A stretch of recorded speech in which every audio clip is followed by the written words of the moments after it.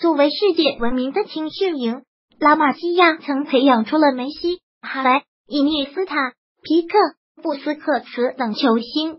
但最近几年，巴萨引以为傲的青训系统球才率并不高。二零一一年初，西班牙著名记者佩拉尔瑙 （Marti Perano） 出版了《冠军之路》一书，在书中他探访了拉玛西亚青训营，并列出了五十名青年才俊。数年过去之后，这五十名当初的希望之星，有些能够立足于顶级联赛，有些混迹低级别联赛，有些则无球可踢。买卡报。为我们盘点了这五十名当初的希望之星的现状。罗贝托右后卫中场，二十六岁，巴萨罗贝托是为数不多能够在巴萨一线队站稳脚跟的拉玛西亚青训营出品的球员。他是巴萨右后卫位置的一个选择，也随巴萨获得了多个冠军。尽管罗贝托起初最擅长的是中场位置，但恩里克将他改造成为一名右后卫。他在这个位置上有着出色的发挥。目前，罗贝托也是西班牙国家队的一员。迪亚哥中场，二十七岁，拜仁在远离伤病的情况下，迪亚哥是足坛最出色的中场之一。由于位置竞争的激烈以及其他一些原因，他离开巴萨加盟了拜仁。他的身价达到了两千五百万欧元。今年夏天，巴萨曾希望回签迪亚哥。皇马同样也展示出了兴趣。第二个目前是西班牙国家队的一员，拉菲尼亚中场，二十五岁，巴萨拉菲尼亚正在巴萨为出场时间而战。二零一三到一四赛季，他第一次被租借至塞尔塔，并在那里给人们留下了深刻印象。重返巴萨之后，拉菲尼亚偶尔会有出彩的发挥，但伤病，尤其是一些比较严重的伤病。让他没能达到预期的高度。尽管如此，他也在巴萨赢得了一切。上赛季，拉菲尼亚被租借至国米，今年夏天他看起来会被出售或者被再次外租，但他最终还是留在了球队。哈维尔·埃斯皮诺萨攻击型中场，二十六岁，特温特在巴萨 B 队效力多个赛季之后，埃斯皮诺萨加盟了比利亚雷亚尔。在黄色潜水艇，他上演了自己在西甲中的首秀，并出战了六场联赛。那个赛季，他被租借至了阿尔梅里亚。不过，在为球队出战了十五场顶级联赛比赛之后，阿尔梅里亚不幸降级。之后，比利亚雷亚尔就将他租借至埃尔切，而莱万特成为了他的下一站。上赛季，莱万特将他租借至格拉纳达。今年夏天的转会窗截止日，埃斯皮诺萨加盟了特温特。乔迪马索中场，二十六岁；奥洛特马索十七岁时就代表赫罗纳在西乙中上演首秀，然后他加盟了拉玛西亚。在时任巴萨 B 队主帅恩里克麾下，马索只为球队出战了一场比赛，然后他在西乙和西乙 B 中丁战了六个赛季。过去两个赛季。买所谓奥洛特在西乙 B 中征战，是球队的常规首发球员。佩佩帕劳中场，二十六岁，自由球员。自去年一二月终止了和艾登斯的合同之后，帕劳就成为一名自由球员，直至现在还没有接纳他的俱乐部。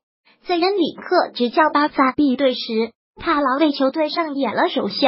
之后，他加盟了比利亚雷亚尔青训营，并在那里效力了四个赛季时间。卡塔赫纳是帕劳的下一站。之后，他又加盟了胡米亚。离开胡米亚之后，他在拉罗达效力了一个赛季，然后加盟了艾登斯。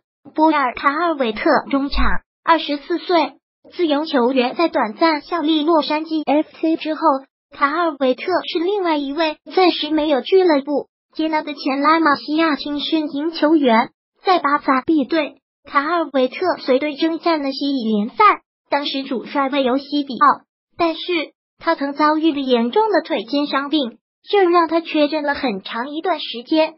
之后，他先后在拉科 B 队和拉格斯特拉效力，并在后者待了一个半赛季时间。不过，卡尔维特在之后选择了前往美国，并在匹兹堡大学就读。洛杉矶 FC 最终在第二十四顺位选中了他。南都奎萨达攻击型中场，二十四岁。桑卢九诺竞技离开拉玛西亚之后，奎萨达加盟了乌德雷兹，并且在和加州出战了三场比赛。不过，乌德勒支将他出售给了荷兰迪级别俱乐部。二十九，重返西班牙后，奎萨达加盟了拉格斯特拉。上赛季，奎萨达是福门特拉的重要一员。今年夏天，奎萨达加盟了埃尔切，但他立即就被租借至桑卢久诺竞技。大卫巴邦斯，基攻击型中场，二十四岁，大公松鼠。二零一六年一月，巴邦斯基离开了巴萨，但是他的告别信引起了广泛关注。巴邦斯基呼吁皮克和埃维罗亚停止他们在推特上的口水战，因为这会给孩子们造成不良影响。巴邦斯基为巴萨 B 队效力了三个赛季，其中两个赛季在西乙征战，一个赛季在西乙 B 征战。在罗查青队效力一段时间之后，他在日本开启了职业生涯的冒险之旅。他首先加盟了横滨水手，今年夏天又加盟了大公松鼠。桑佩尔中场，二十三岁，巴萨桑佩尔目前已经被提拔入一线队，但巴尔韦德并没有给他多少机会。在外租期间，桑佩尔非常不走运。首先是在格拉纳达，他效力的球队不幸降级。然后又是在拉斯帕尔马斯，由于遭遇伤病，他出场的机会非常有限。在恩里克执教巴萨期间，桑佩尔在六比零战胜赫塔菲的比赛中为一线队上演了首秀。在欧冠中，桑佩尔同样是在恩里克麾下上演了首秀。大卫扎尔兹曼前腰，二十二岁，孟菲斯大学离开拉玛西亚之后，扎尔兹曼加盟了科内拉。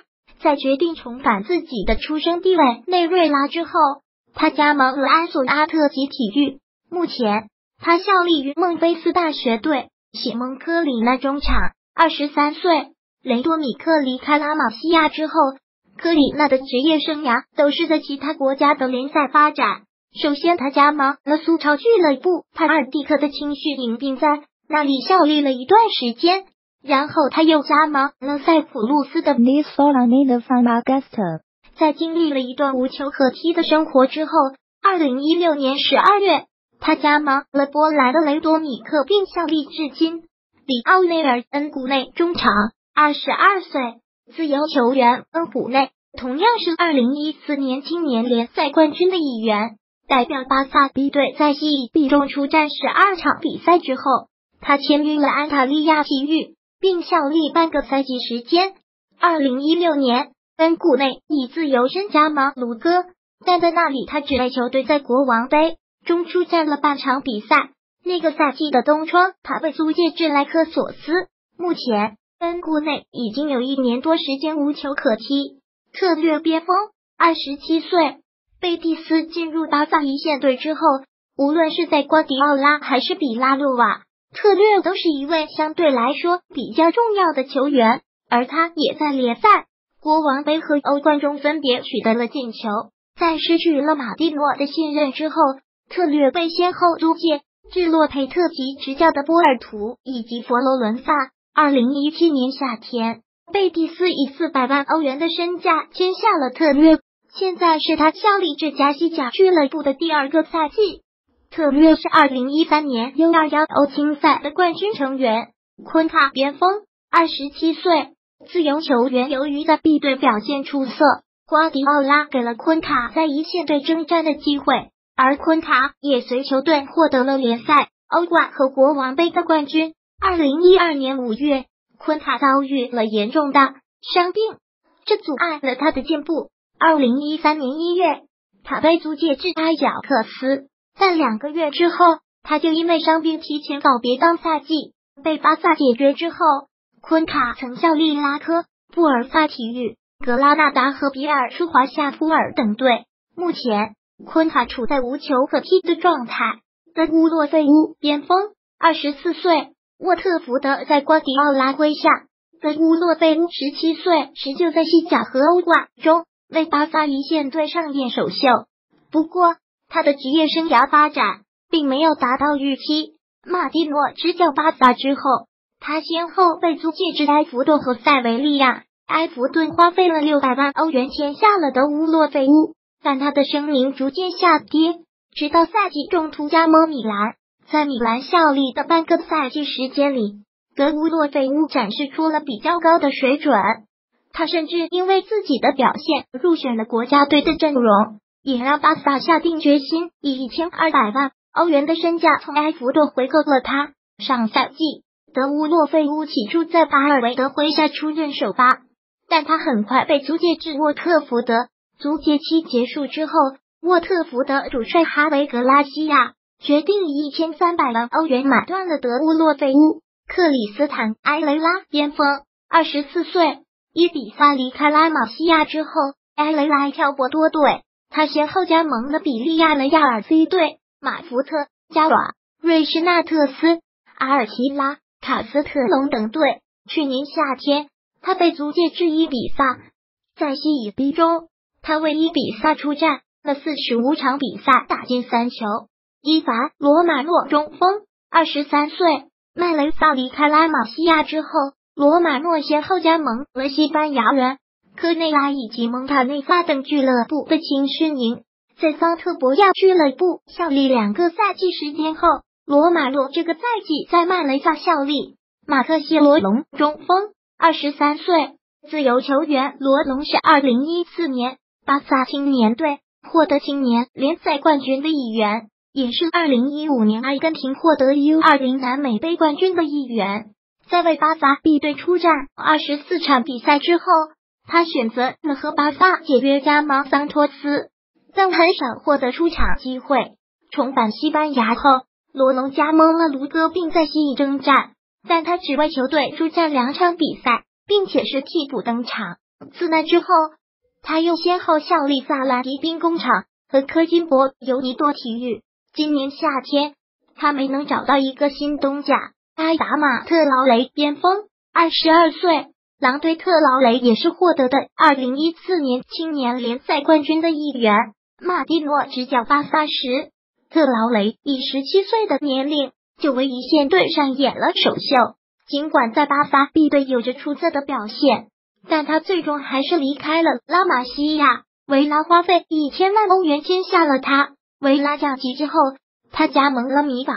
不过，米堡也在他效力的除此赛季降级。上赛季，特劳雷在米堡有着不错的发挥，他重振了自己的职业生涯。